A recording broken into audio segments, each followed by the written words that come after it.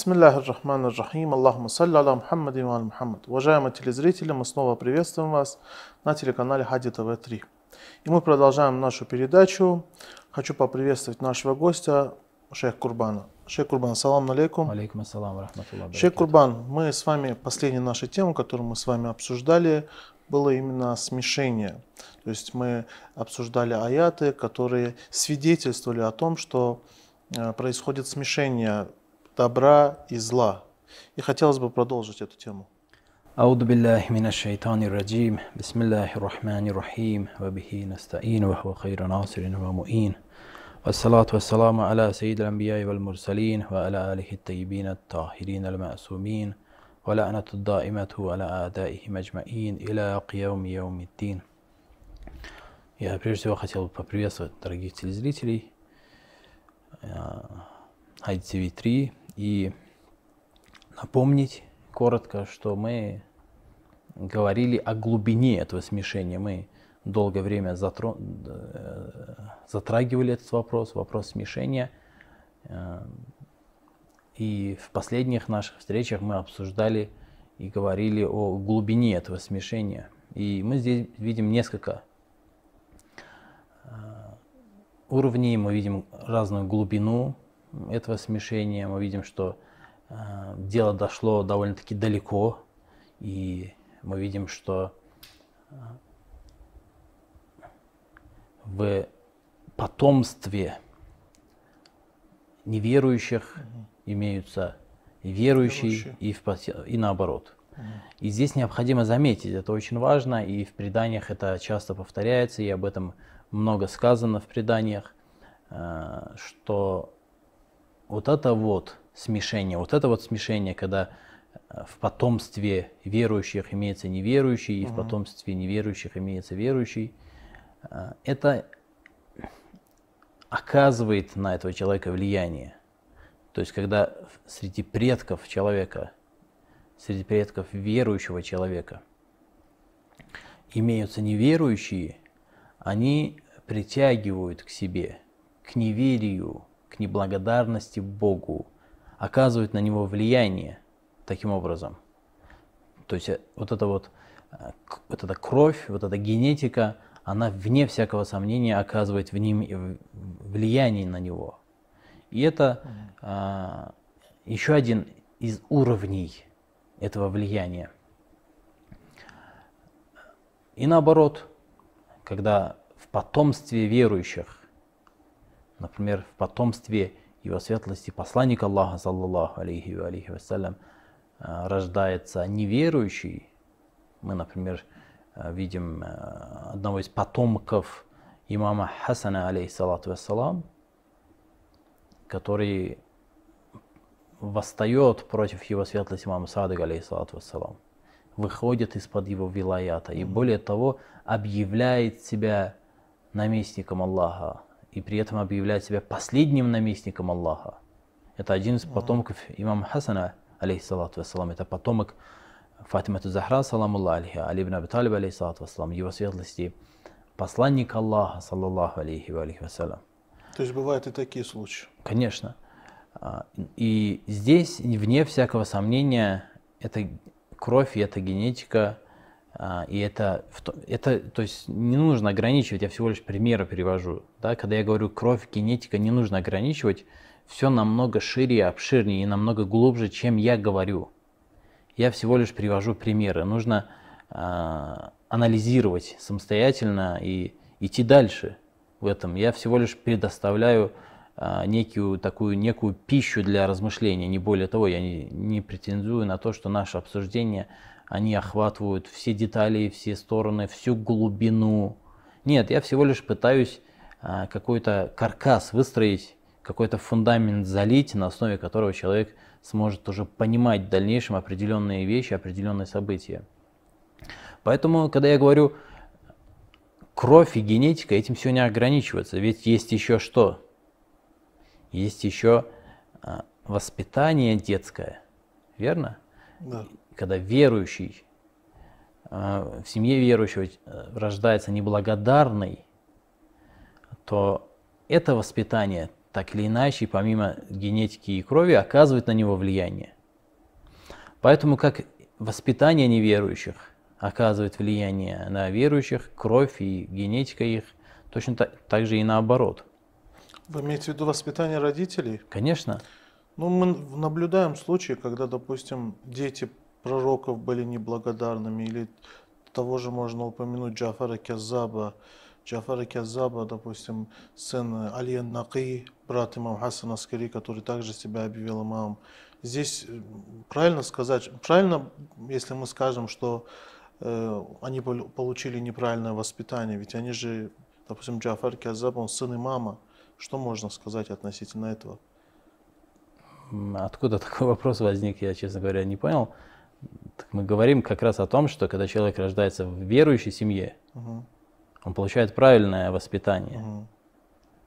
Он правильное воспитание получает. И это воспитание тянет его в сторону света, тянет его в сторону веры, угу. тянет его в сторону благодетелей. И наоборот, когда человек рождается верующий, человек рождается, например, и такое бывает, когда рождается верующий человек в семье, неверующего, то это воспитание, этот фундамент, э, это изначальное вот это окружение, оно накладывает свой отпечаток на нем и в дальнейшем э, притягивает его к злодеяниям, является неким таким магнитом для него, который притягивает его к этому. И из этого возникает вот это вот, э, вот эти ламам для верующего, потому что в нем есть кровь, в нем есть вот это смешение. Это опять-таки один из уровней, я опять-таки повторяюсь, мы говорили об этом, что здесь имеются разные грани, имеются разные, разная глубина, разные уровни, и все намного обширнее, чем мы можем себе это а, не только представить, да, э, не только разъяснить, но и представить.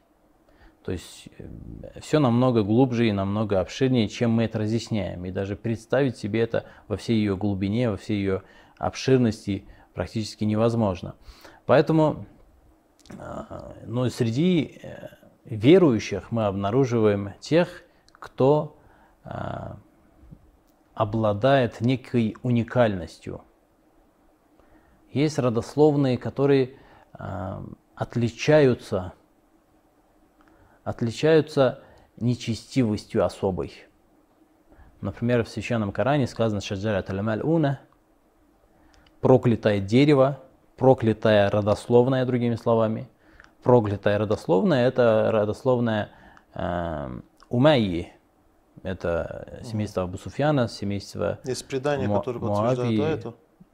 Да, они переданы по многочисленным путям передачи и являются достоверными. Угу том числе, я подчеркиваю, согласно суннитскому хадисоведению, они являются достоверными. Я сейчас даже не говорю о том, что они являются достоверными. Согласно шиитскому хадисоведению, согласно суннитскому, эти предания являются достоверными. Да, проклятое родословное, проклятое дерево, а, то есть это э, некий род, который отличается особой низостью, особой низостью. И в противовес этому, ну опять-таки, это опять-таки всего лишь пример, семейства Умайи, Амияды – это всего лишь пример. Есть такие родословные, одни больше, другие меньше, но так или иначе есть те, которые отличаются от всех остальных, где э, неверующих и вот этой вот низкой, низкой крови и низкой генетики и вот этого вот отвратительного воспитания мерзкого воспитания больше, чем в остальных семействах. И наоборот, в противовес этому есть рода, которые отличаются особым благородством, и во главе этих родов стоят те рода, среди которых вовсе отсутствуют, вовсе отсутствуют неверующие. Из, например, из таких родов а, его светлость посланник Аллаха, саллаллаху алейхи ва вассалям, мы приводили ранее, если вы помните, мы в одной из передач упоминали этот вопрос, что, во-первых, согласно шиитскому и согласно мнению непорочных имамов, в этом вопросе имеется абсолютное единогласие. То есть среди наших ученых нет вообще никаких разногласий в том, что среди предков его светлости посланника Аллаха, саллаллаху алейхи по прямой линии, как среди по прямой линии, как среди мужчин, так и среди женщин, не было ни одного многобожника и неблагодарного. Есть там разногласия, все ли мужчины были пророками или наместниками пророков или нет. Здесь могут быть какие-то разногласия, но по поводу единобожия и благодарности и веры никаких разногласий нет. Все по прямой линии, и мы упоминали об этом, что и в, в аяте священного Корана «Вахуаллади ярака хина такуму ватагаллубака фиссаджидин». То есть э, Всевышний, Он тот, кто видит тебя, когда ты встаешь, и твое передвижение среди э, павших ниц. Угу. И кто эти павшие ниц? Мы в преданиях обнаруживаем, что это эм, и как в суннитских в преданиях это имеется толкование, так и в наших угу. и э, имеется это толкование, что э, фиссаджидин имеется в виду предки его светлости посланника Аллаха, саллаллаху алейхи вассалям, что этот свет его светлости посланника Аллаха, саллаллаху алейхи вассалям, переходил от поколения в поколение по линии верующих и тех, которые были благодарны Богу, алладина аману. Среди них не было никого. И в преданиях это довольно-таки часто повторяется, что э, все предки были многобожниками. В некоторых говорится мутах... Единобожниками. Да-да, прошу прощения. Угу. Все предки были единобожниками. И в некоторых преданиях говорится, что были э, мутахар, мутахара, что означает непорочность. Угу. Поэтому очень многие наши ученые э, убеждены в том, что все предки его светлости посланника Аллаха, саллаллаху алейхи вассалям, были непорочными. Что это означает? Это означает, что они или были пророками, или наместниками пророков. Ну это все, это все да пророка мы говорим. После пророка такой гарантии нету, да, что среди его рода не будет неверующих и не будет уточняющий вопрос. А, нет, мы по, по прямой ли, про прямую линию родословной его светлость ну, посланника Аллаха, саллаллаху алейхи вассалям, восходящую к Адаму. Угу. Мы про это говорим. Вот эта линия, вот эта вот родословная прямая линия мужчин и женщин, а, это исключительно единобожники, исключительно благодарные и находящиеся под вилаятом Аллаха. Мы большего и не утверждали в данном случае. Да, конечно, мы обнаруживаем среди ответвлений этого рода. Например, обратите внимание на Умайю.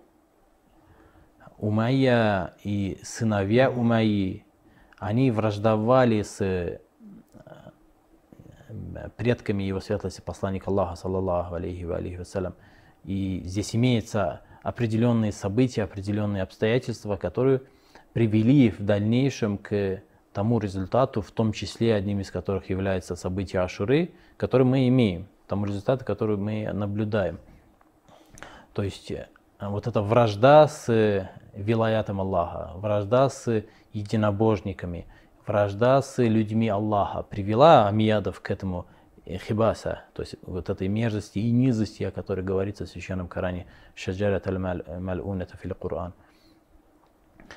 Поэтому мы здесь что обнаруживаем? Мы что здесь можем наблюдать? Мы можем наблюдать, что есть э, люди, которые являются из тех родов, э, из тех семейств, где нету, не произошло смешения как такового. Именно этого смешения там не произошло. То есть это смешение на них никак не повлияло. Они оказались вне этого влияния, этого смешения. А все остальные люди в большей или в меньшей мере находятся под влиянием этого смешения. Опять-таки, это один из видов смешения. Опять-таки, я повторяюсь, чтобы наши дорогие телезрители э,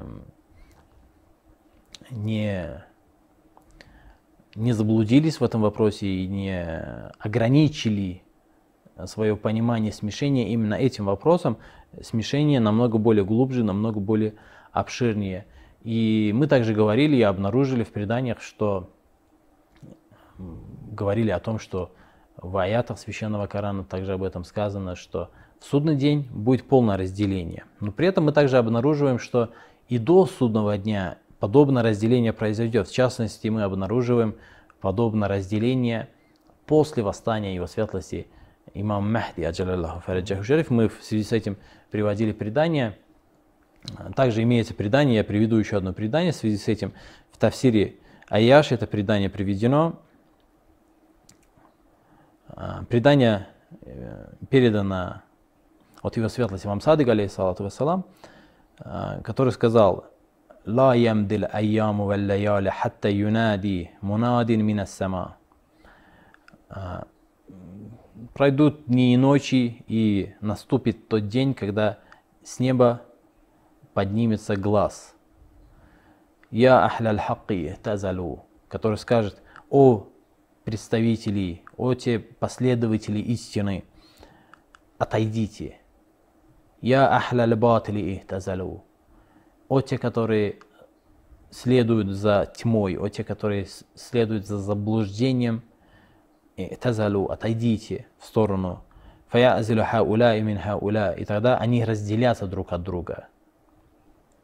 Фая азилу хауля и мин хауля. То есть, как представители э, истины, так и представители тьмы, они друг от друга отойдут и разделятся. И здесь передатчик говорит, что я спросил, «Юхалиту хауля и хауля ба'да далик, далик аннида» они после вот этого вот события еще произойдет смешение. В предании говорится, что его светлость имам Садык, алейхиссалату вассалам, а, сказал, нет, э, келла. Ни в коем случае после этого смешение не произойдет. То есть угу. это то есть какой-то определенный момент, который имеется и а, то есть определенная степень разделения. Это не полное разделение, несовершенное разделение, которое мы можем наблюдать в судный день, о котором говорится в судном день. Это какой-то, какой-то, какая-то степень разделения. До этого события будет взаимовлияние. И взаимовлияние это довольно-таки серьезное и э, довольно-таки имеет свои последствия. Вот что по поводу Э, вот этого смешения, говорит его светлость имам Али, алейхиссалату вассалам. Я угу. хочу зачитать его слова из, э, из Нахчуль Балага. Довольно-таки интересное э, высказывание у его светлости, повелителя правоверных. Его светлость говорит, «Иннама бад вуку или фитан ахваун туттабау ахкамун тубтадау». Что причиной смуты, причиной смут – во-первых, нужно подчеркнуть, что фитан, это мы немножко отойдем от нашей темы, немножко угу. затянем, к сожалению, наш, наше обсуждение, но я думаю, что будет полезно узнать. Фитан – это испытание с целью очистить, угу. с целью очищения. Смута не является как таковое а, а, как, как таковое в общей, в глобальном масштабе не является как таковое злом. Как любое событие, как и любое действие, как и любой поступок, который происходит в, этой, в этом мире, является добром. Все в этом мире является добром, потому что является частью плана Всевышнего. И любое действие, любой поступок, любое историческое событие, оно приводит именно к этому разделению и полной доминации света над тьмой, полной доминации истины над ложью, полной доминации правды над неправдой. И это есть польза. Конечно, все, все это приведет к этому.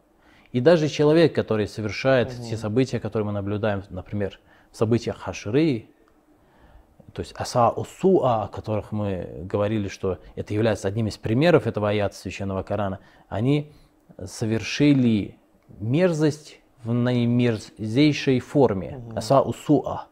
И вот этот мерзкий поступок, совершенный в наимерзейшей форме, который мы наблюдаем в событиях Ашры, это тоже своего рода э, польза для человечества. Да, является мерзостью, но в этом противостоянии оно играет очень важную роль и играет на пользу, обратите внимание, играет на пользу истины.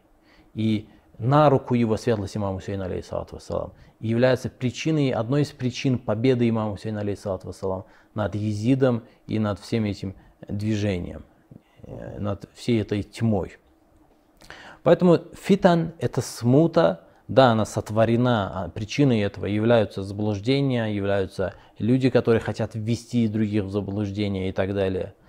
По поводу, например, эм, Муави ибн Абу Суфьяна в Священном Коране сказано об этом, и на это указывал его святой имам Хасан, алейхиссалату вассалам, когда заключил с Муави мирный договор, он указал, что э, фитна, о которой сказано в Священном Коране, касается именно этого вопроса. Вопрос того, что Муавия станет вашим предводителем, руководителем. Угу. То есть это, это бедствие. Фитна – это бедствие, которое нацелено на очищение, очищение верующих. И э, имам Аля, алейхиссалату говорит, что началом смут, фи, фитан, началом смут являются вожделения, которым покоряются, которым подчиняются, и положения, и фетвы, и мнения, и решения, которые выдумываются. Туптадау. То есть это бид'а, это нововведение, это новшество, выдумываются. То есть они не, не спосланы Всевышним, а люди сами их выдумывают юхаляфу фиха. Что это за бид'a и что это за ахва, что это за желание и вожделение, и что это за положение и решение, что это за фетвы, что это за законодательные акты, если хотите. Это юхаляфу фиха китабуллах. Это те положения и те желания, которые противоречат книге Аллаха. Это во-первых. ويتولى عليها رجال رجالا على غير دين الله. И это э, желание, обратите внимание, это очень интересное высказывание, которое мы часто обнаружим в Священном Коране, подтверждение которому, то есть повторение этого часто обнаружим в Священном Коране и в преданиях обнаруживаем. Его светлость говорит, это желание и это решение, это, это э, фетвы, ахкам, в которых одни люди следуют за другими людьми, аля гейри динилля. Но в религии не сказано, что эти люди должны за этими людьми следовать в этих вопросах. Нету этого. В религии этого не говорит. То есть одним из причин вот этих бедствий, одним из причин вот этих фитан, которые в конечном итоге, мы опять-таки повторяюсь, приводят к положительным результатам, они приводят к очищению верующих. Но так или иначе и сами по себе являются бедствием, являются бедой, являются трудностями.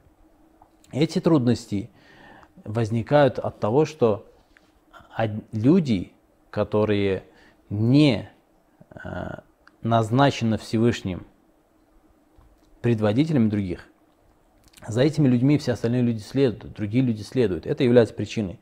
То есть э, причиной бедствий мусульманской общины является не только отказ от э, священного Корана, но и отход от тех людей, на которые Всевышний указал, как на предводителей. Угу. То есть это является одним из важнейших, важнейших моментов и ключевых моментов – того, чтобы человек оставался под вилаятом Аллаха. В противном случае он выходит из-под этого вилаята и начинаются эти смуты. И он становится причиной этой смут. Этот человек причиной этой смут. И эти смуты на него влияют отрицательно. Они являются э, и не имеют для него никаких положительных последствий. Как, например, события Ашуры не имели никаких положительных последствий для Езида и Убейдуллах ибн Зияда, Саад ибн Аби э, Умар ибн Саад ибн Аби Ваккаса и так далее. И далее. فلو أن الباطل خلص من من مزاج الحق если бы неправда, если бы ложь отделилась бы полностью от того смешения, избавилась бы от того смешения, которое имеет с правдой, то есть есть смешение правды и ложь, лжи, если бы это произошло, это разделение, лам яхфа аляль муртаддин. Те, которые ищут истину, для них не было бы никакой, никакого страха. Любой, кто искал бы истину, нашел бы эту истину без какого-либо труда. Но так как истина и ложь смешаны, имеет, возникает трудность в, поиске истины.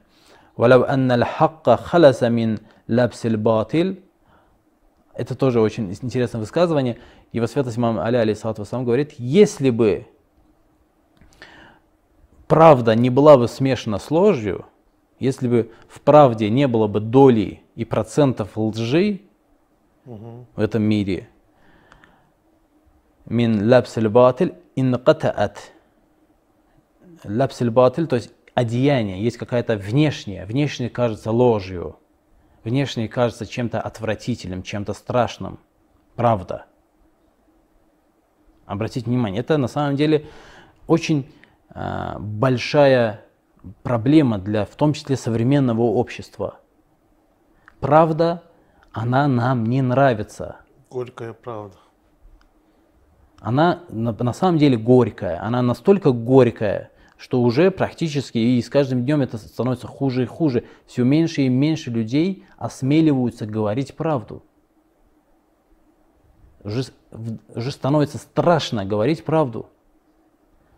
Я не знаю, чувствуете ли это вы, чувствуют ли это наши телезрители, но я всем своим существованием, всем своим бытием чувствую вот, этот вот, вот эту угрозу, угрозу того, что правду говорить становится страшно. Многие люди боятся правду говорить. Уже это, то есть правда, мин лапсель батиль. Если бы, имам Аляли салам говорит, если бы истина не была бы обернута в обертку лжи и тьмы, инкатат анху альсунуль муанидин. Враги Аллаха, те, которые вышли из-под этого вилаята, они не смогли бы протянуть свои языки в сторону истины. Они не смогли бы критиковать. То есть мы то, что хумаза ва лумаза говорили, хамза, хумаза ва лумаз, Э, говорили, вот это вот высмеивание, открытое и скрытое высмеивание, о котором «Вайлюн ли кулли хумазатин лумаза» сказано в Священном Коране, одним из причин вот этого высмеивания является что? Не могут правду сказать. Является это обертка. Истина, истина, величайшая из истин, большущая из истин, очевиднейшая из истин порой оборачивается – часто оборачивается в обертку лжи, обертку, э, вродливую обертку, непривлекательную обертку. Она не нравится. Ее обертка, она изнутри, ее нутро – это чистейший свет. Но из снаружи, это ее слова его светлости, алейхи Абиталиба, сам снаружи, оно выглядит как ложь, как нечто, э, отвратительное, нечто мерзкое снаружи. Если бы его светлость, алейхи Абиталиба, говорит, если бы не было бы этой обертки у истины, то что произошло бы? Инкатаат аль-сунуль муанидин. Инкатаат анху аль-сунуль муанидин. Не смогли бы критиковать истину. Нечего было бы про истину сказать плохого не смогли бы критиковать, не смогли бы противостоять этой истине, те, которые враги Муанидин, те, которые враждуют с Аллахом, те, которые враждуют с его посланником, те, которые враждуют с его пророками, те, которые враждуют с их наместниками, наместниками пророков, эти люди не смогли бы критиковать. Обратите внимание, это один из ключевых моментов для современной, в том числе это очень актуально для современного мира, и в дальнейшем станет еще актуальнее – нужно обращать внимание. Порой эту обертку нам преподносят. Нам порой показывают именно эту обертку. Показывают, демонстрируют эту обертку. Нам нужно всегда смотреть внутрь. Нам нужно всегда смотреть внутрь. Нам нужно исследовать нутро явлений. Нутро вещей нужно смотреть. И так определять. Нельзя. Вообще современное общество, оно больше, чем предыдущие общества. Это, конечно, мое субъективное мнение, то, что я наблюдаю, и то, что я могу, э, тот вывод, который я могу сделать, что современное общество, она в намного большей степени э, зациклена, и ее внимание в большей степени припако, приковано именно э, к обертке, к внешним проявлениям. А внутренняя суть вещей, она, как правило, не исследуется. Я, я приведу, например, пример. Сейчас есть какие-то какие-то обряды, есть какие-то действия со стороны последователей непорочной семейства посланника Аллаха, саллаллаху алейхи в виде оплакивания его святости имама Хусейна, алейхиссалату вассалам, эм, которая порой проявляется в не, в не самых. И это, это опять-таки грубый пример. Все намного глубже, все намного обширнее. Я постараюсь всегда приводить довольно-таки поверхностные примеры, как обычно, грубые поверхностные примеры, которые всегда нужно дальше додумывать слушателям. Потому что если они ограничатся исключительно моими примерами, э, как бы у них не будет достаточно правильного и обширного представления о вопросе. Нужно еще глубже исследовать. А, порой эти оплакивания, эти траурные мероприятия по имаму Сейну, алейхиссалату сам, имеют порой неблаговидный и не совсем привлекательный вид. Угу. Есть еще другие примеры из э, этой же среды. И враги именно это, в, этом, в этой обертке преподносят следование за Ахляльбейт, сам шиизм. Именно в этой обертке. И любой, кто знает о шиизме, знает о шиизме именно по этой обертке. Угу. Именно это приходит ему в первую очередь в голову. Это Поэтому, про Татбир, наверное, говорите, да?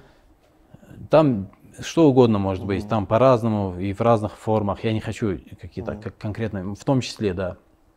Таким образом, мы видим, что происходит смешение лжи, истины и неистины, и света и тьмы, смешение, в результате которого возникает вот это вот а, фитна.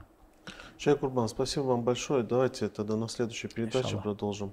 А то я вижу, вам еще есть что сказать, но, к сожалению, наше время подошло к концу. Спасибо вам большое. Спасибо вам. Уважаемые телезрители, мы с вами встретимся на следующей передаче. Ассаламу алейкум ва рахматуллахи ва баракату.